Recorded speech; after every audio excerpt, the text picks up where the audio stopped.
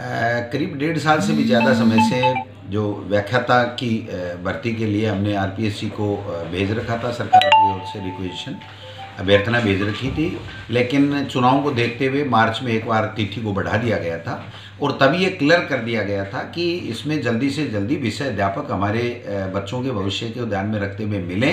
और जो लोग तैयारी कर रहे थे, उस वक्त भी काफ़ी लोगों का, एक बड़े समूह का ये आरोप था कि आपको तिथि नहीं बढ़ानी चाहिए थी। हम लोगों ने बहुत तैयारी कर रखी है और हम काफ़ी दिन से मेहनत कर रहे हैं। अभी जो वर्ग आए हैं, दोनों वर्गों ने अपनी अपनी बात कही है, जो परीक्षा तिथि बढ़ाने वाले और जो परीक्षा तिथि नहीं बढ़ाने वाले। अधिकतर वो लोग बड़े परेशान हैं कि डेढ़ साल से सरकार भर्ती क्यों नहीं करा रही है, क्यों नहीं एग्ज़ाम ले रही है?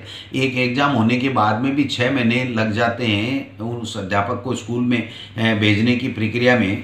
तो जो लोग बाग परीक्षा तिथि को स्थगित कराने की बात कर रहे हैं, उनसे हमारा निवेदन यह है कि सरकार ने एक मंत्री समूह, माननीय मुख्यमंत्री जी ने बनाया था, उसने दोनों पक्षों को सुना है और अंतिम फैसला ये लिया गया है विभाग की ओर से कि परीक्षा तिथि व्याख्याता भर्ती की नहीं बढ़ाई जाएगी। समय पे परीक्षा हो, जिससे बेरोजगार, शिक्षित, बेरोजगार नौकरी लगे और हमारे जो बच्चे हैं, उनको विषय अध्यापक मिल सके।